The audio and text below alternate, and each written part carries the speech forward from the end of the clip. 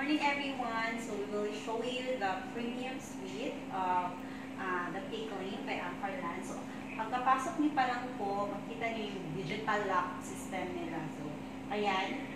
So just key in your number.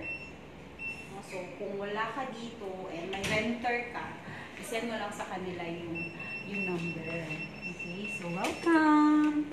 Pagkapasok nyo, ayan, ito na yung kitchen. This one included na yan sa turnover. This one here, no, included na siya. And ito po, included. At saka, yung ref and microwave, included na din siya.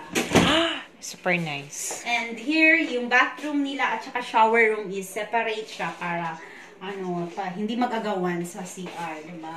And the cabinet, included, included na rin siya sa upon turnover. No, yung floor area niya is nasa 22.10 square meter. Ah, 22 no? Nasa lang pala. 3.3 million siya. And imagine, guys, How about the bed? the bed is included. Wow, Yeah. Perfect. Perfect, di ba? So, ang dalhin mo na lang dito pagka Sarili mo. is sarili mo at saka yung mga gamit mo. Yes. No? So, yung aircon included na rin siya, no? And very, ano talaga, ah, ah, timely lang nakukuha kayo kasi I'm sure mga 2 to 3 years from now, yung price niya mag-increase.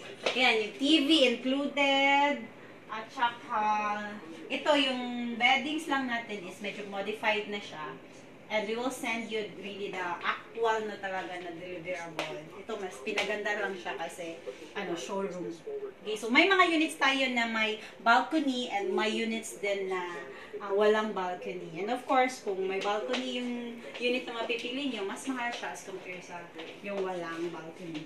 Okay, so I am Janice Hinlayagan from MS Del Rosario Realty. For more information, just contact 0977-245-2855. Thank you!